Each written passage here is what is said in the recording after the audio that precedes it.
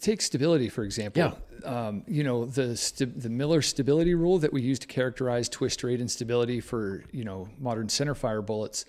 That doesn't really work at subsonic. You know, some people try to use it there, not understanding its limit, but it's based around boat tail Spitzer nose projectiles at 2,800 feet a second.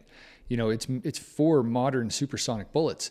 Does not work at at subsonic. It's not supposed to. And that's something that I'm working on now. Actually, is a formula that characterizes subsonic stability.